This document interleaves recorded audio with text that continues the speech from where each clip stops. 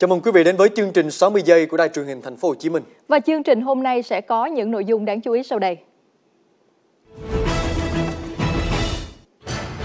Một trường hợp được xác nhận dương tính với SARS-CoV-2 trong thời gian cách ly tại nhà ở Hà Nam. Siết chặt an toàn giao thông hoạt động vận tải hành khách liên tỉnh ngày cao điểm trước kỳ nghỉ lễ. Trung Quốc phóng mô đun đầu tiên để xây trạm vũ trụ riêng lên không gian. Xưởng gỗ bốc cháy dữ dội tại thành phố Hồ Chí Minh khiến người dân trắng đêm không ngủ.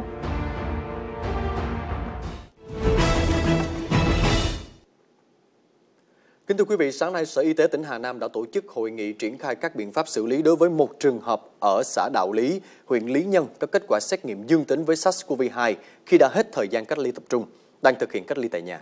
Đây là trường hợp được đánh giá rất có thể trở thành nguồn lây nhiễm trong cộng đồng.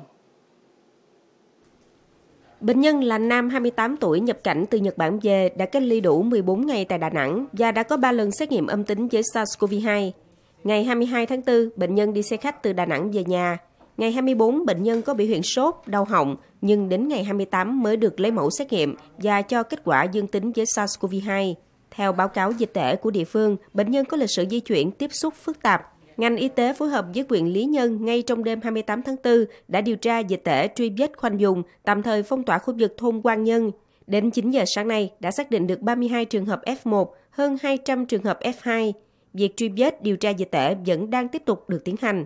Thông tin ban đầu cho biết đã phát hiện một F1 của bệnh nhân này tại Hà Nội. Kính thưa quý vị, thông tin từ Sở Y tế Hà Nam cho biết, 4 trường hợp F1 của nam bệnh nhân mắc COVID-19 ngụ huyện Lý Nhân nói trên là bố, mẹ, vợ và con của người này đã trở thành F0. Tất cả trường hợp trên là người ở cùng nhà với bệnh nhân tại huyện Lý Nhân. Cũng liên quan đến ca bệnh tại Hà Nam, chiều nay Bộ Y tế đã phát đi thông báo khẩn. Theo đó, những hành khách đi trên chuyến bay VJ3613 từ Nhật Bản hạ cánh sân bay quốc tế Đà Nẵng ngày 7 tháng 4 năm 2021, dù đã qua cách ly tập trung, đề nghị liên lạc ngay với cơ quan y tế gần nhất để được tư vấn, hỗ trợ, lấy mẫu xét nghiệm và tuân thủ các biện pháp phòng chống dịch COVID-19. Đoàn công tác của Bộ Y tế cũng đã đến Hà Nam chiều nay để cùng với tỉnh này chống dịch. Chiều nay, thành phố Hồ Chí Minh cũng đã ghi nhận một trường hợp nghi nhiễm mới. Đây là trường hợp tiếp xúc gần với trường hợp dương tính với SARS-CoV-2 sau cách ly tại tỉnh Hà Nam nói trên.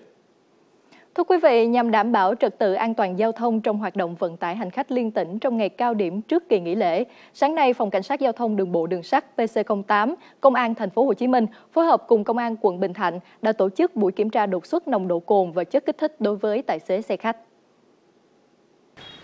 Ghi nhận trong sáng nay, trước bến xe miền Đông, lượng xe khách và các phương tiện ra vào đông gây ùn tắc nghiêm trọng. Bên cạnh điều tiết giao thông, giải tỏa ùn tắc, tổ công tác còn tiến hành kiểm tra hành chính, đo nồng độ cồn và áp dụng test nhanh ma túy đối với người điều khiển phương tiện. Sau hơn một giờ tuần tra, lực lượng phát hiện một trường hợp tài xế vi phạm nồng độ cồn mức cao với mức phạt 7 triệu đồng, tức giấy phép lái xe 11 tháng và tạm giữ phương tiện. Tuy nhiên, không phát hiện trường hợp nào dương tính với ma túy. Những cái ngày lễ lộc thì mình chạy nó nhiều, có thể là gây ra buồn ngủ. Dù có thời gian nghỉ thì mình phải nghỉ dưỡng sức. Thì mình là vì tính mạng hành khách là trên hết để bản thân của mình nữa. Cho nên mình sẽ không ờ, sử dụng những cái chất kích thích ma túy. Từ nay đến hết kỳ nghỉ lễ, tình hình an toàn trật tự giao thông trên địa bàn thành phố được dự báo sẽ còn nhiều diễn biến phức tạp. Phòng PC08 Công an thành phố sẽ tiếp tục phối hợp cùng các đơn vị nghiệp vụ tuần tra xuyên suốt, trong đó đặc biệt chú trọng hoạt động vận tải hành khách liên tỉnh, giúp người dân yên tâm di chuyển, đón lễ an toàn, vui tươi. Tối qua, đội cảnh sát giao thông trật tự thuộc phòng cảnh sát giao thông đường bộ đường sắt, công an thành phố Hồ Chí Minh đã phối hợp các lực lượng liên quan tổ chức diễn tập phòng chống đua xe trái phép trên địa bàn quận 1. Theo đó, buổi diễn tập có hai tình huống được đưa ra là một tốt thanh niên khoảng 3 đến 5 người đi trên xe máy thay đổi kết cấu, nẹt vô xe in ỏi lạng lách trên đường Võ Văn Kiệt và tình huống 2 là khoảng 20 thanh niên tụ tập chặn làn xe máy trên đường Võ Văn Kiệt để đua xe. Các chiến sĩ cảnh sát giao thông đã chia làm nhiều tổ công tác chặn bắt.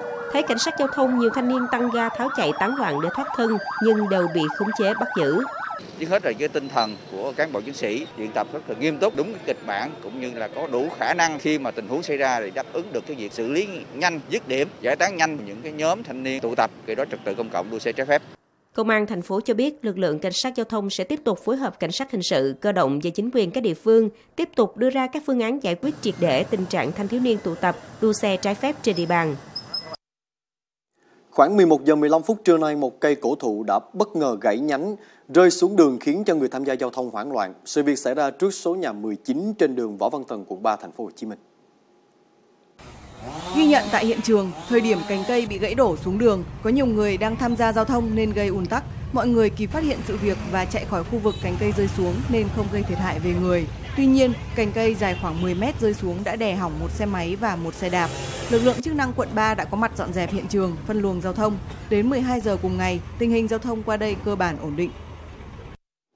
Sáng nay, công viên khủng long đầu tiên tại thành phố Hồ Chí Minh đã chính thức mở cửa đón du khách tham quan, không gian tái hiện chân thật về cảnh quan thiên nhiên trái đất thời cổ đại với sự xuất hiện của những mô hình khủng long ấn tượng khiến không ít khách tham quan ngỡ ngàng và thích thú trải nghiệm. Được ra mắt trước thềm lễ 30 tháng 4 1 tháng 5, công viên khủng long J Park thu hút đông đảo bạn trẻ cùng các gia đình trải nghiệm trong ngày đầu tiên mở cửa đón khách. Cái hình ảnh ở đây nó rất là sinh động. Mình có thể trải nghiệm nè sờ nè nhìn nè nghe âm thanh nữa và cái không gian nó rất là đa dạng. À, trong cái dự án uh, G Park lần này là được thực hiện trong một cái mall. Là điều kiện thực hiện rất là khắc khe. Đó là ở đây nó rất là nhỏ kể cả khổng lông mang lên phải cưa làm ba khúc ra. Xong lên đây mình mới ráp lại và mới hoàn thiện để tạo cảm giác chân thật cho người xem, những mô hình khủng long được ứng dụng công nghệ tạo hình in 3D, kết hợp chuyển động Cinemagic và trình chiếu hologram hiện đại. Bên cạnh sự chuyển động uyển chuyển của những chú khủng long khổng lồ, hệ thống âm thanh kết hợp ánh sáng cũng tạo cho khách tham quan sự hứng thú, xen lẫn chút sợ hãi. Mô hình công viên khủng long cũng gửi gắm những giá trị thông điệp giáo dục trẻ em về tương lai xanh và câu chuyện bảo vệ môi trường tự nhiên của hành tinh chúng ta. Sáng nay, Trung Quốc đã phóng thành công mô đun đầu tiên để xây dựng trạm vũ trụ riêng lên không gian. Sự kiện đánh dấu bước tiến quan trọng trong chương trình thăm dò vũ trụ của quốc gia này. Tên lửa đẩy Trường Trinh 5B đã mang mô đun Thiên Hà lên không gian từ trung tâm vũ trụ Văn Xương ở đảo Hải Nam. Theo truyền thông Trung Quốc, khoảng 30 phút sau khi rời bệ phóng, tên lửa đẩy đã đưa mô đun vào quỹ đạo theo đúng kế hoạch. Mô đun Thiên Hà có chiều dài hơn 16 m, đường kính 4,2 m với trọng lượng 22,5 tấn. Đây là mô đun vũ trụ lớn nhất mà Trung Quốc từng phát triển. Giới phân tích đánh giá đây là bước đột phá trong chương trình không gian của nước này. Theo thiết kế, trạm vũ trụ ngoài không gian của Trung Quốc sẽ bao gồm 3 mô đun chính, trong đó có Thiên Hà và hai mô đun khác dài 14,4 m có tên Vấn Thiên và Mộng Thiên.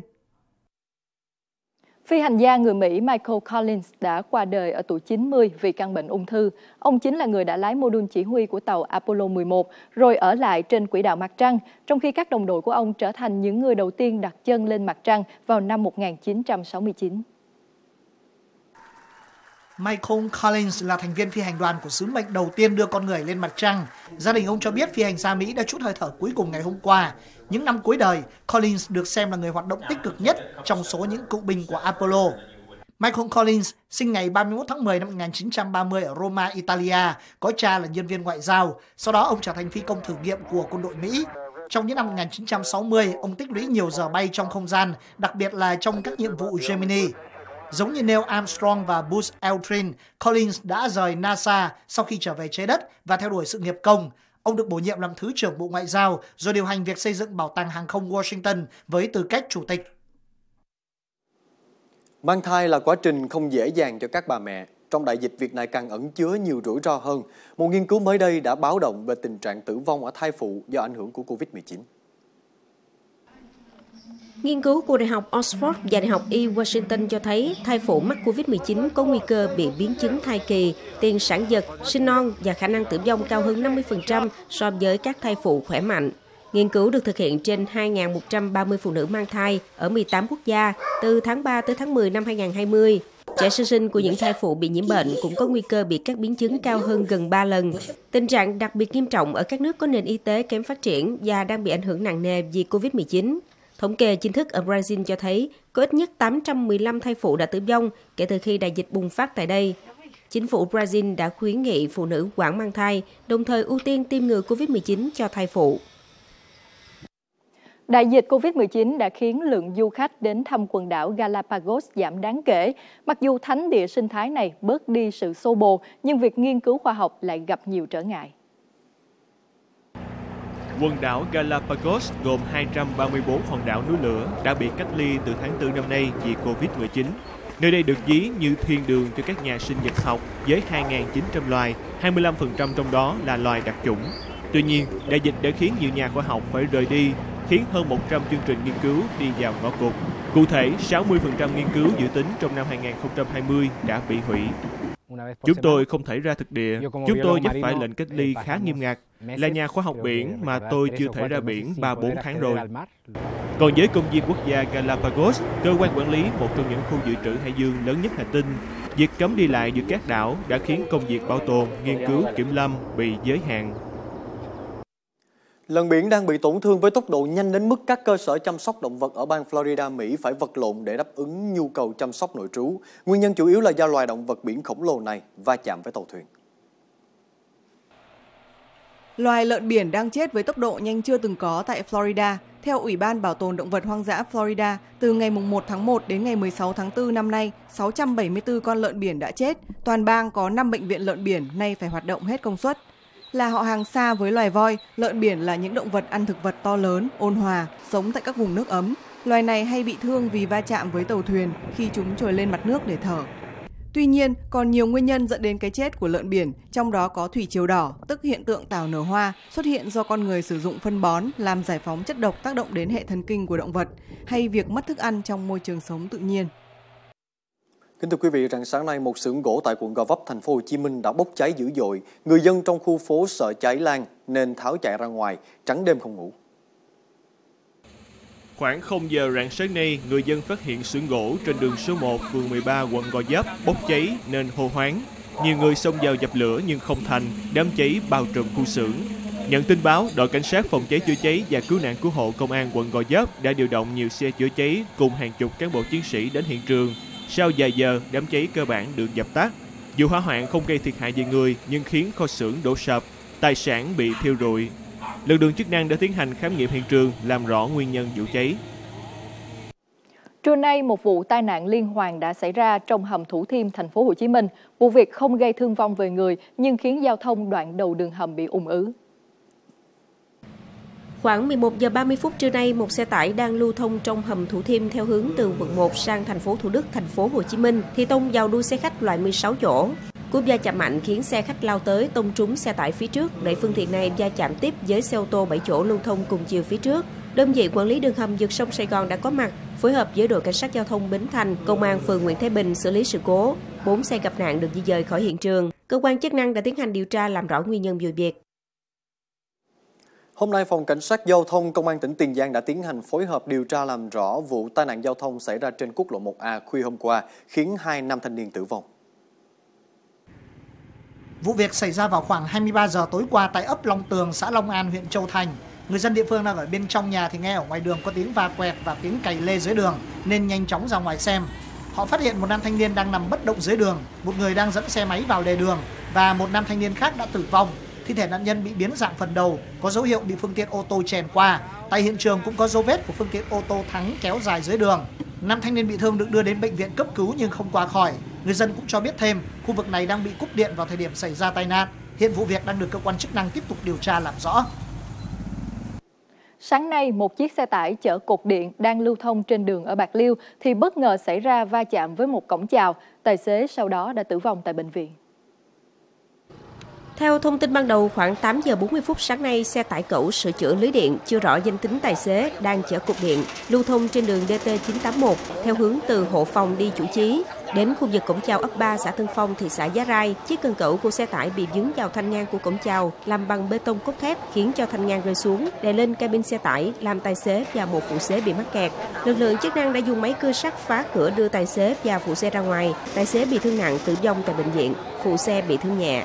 Đến khoảng 13 giờ, hiện trường vụ tai nạn cơ bản được giải tỏa. Công an tỉnh Quảng Bình hôm nay cho biết đã thi hành lệnh giữ người trong trường hợp khẩn cấp đối với Nguyễn Tiến Sĩ, 31 tuổi, cán bộ Sở Tài nguyên và Môi trường tỉnh Quảng Bình về hành vi lừa đảo chiếm đoạt tài sản.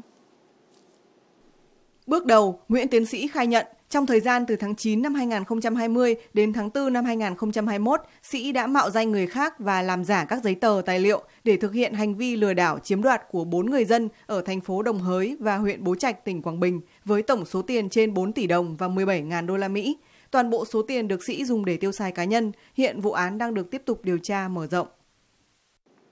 Kính thưa quý vị, chặng 21 cuộc đua xe đạp toàn quốc tranh cúp truyền hình thành phố Hồ Chí Minh lần thứ 33 đã diễn ra vào ngày hôm nay và Nguyễn Minh Thiện đã giúp ekip 620 Châu Thới Vĩnh Long có chiến thắng đầu tiên ở cuộc đua năm nay.